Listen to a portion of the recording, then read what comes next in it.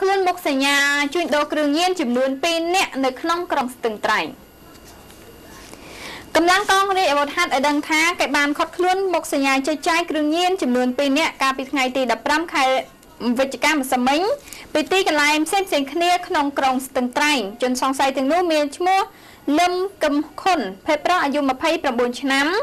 មុខរបរយោធារស់នៅក្នុងភូមិត្រពាំងព្រេងសង្កាត់ស្ទឹងត្រែងក្រុងស្ទឹងត្រែង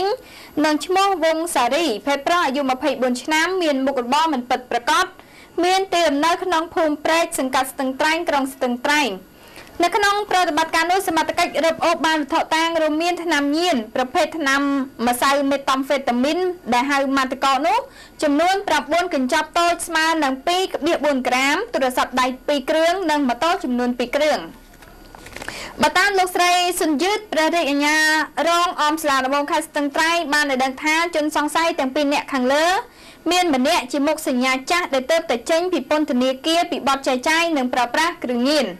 បច្ចុប្បន្នជនសង្ស័យនៅវត្ថុតាងកំពុងត្រូវបានកម្លាំងកងរាជអាវុធហត្ថនៃការិយាល័យប្រឆាំងគ្រឿងញៀន